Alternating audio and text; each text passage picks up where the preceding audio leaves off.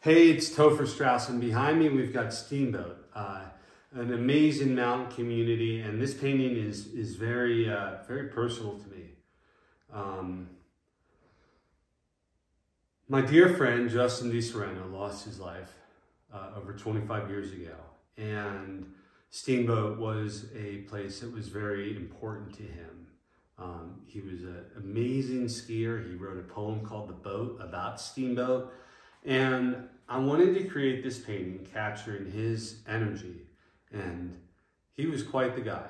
He taught me so much and continues to teach me so much. So I made this painting for DISO.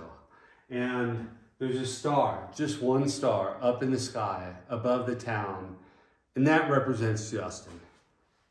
Thanks so much. And if you get a chance, I encourage you to learn about DISO because, um, well, he was an extraordinary guy and live your life to the fullest.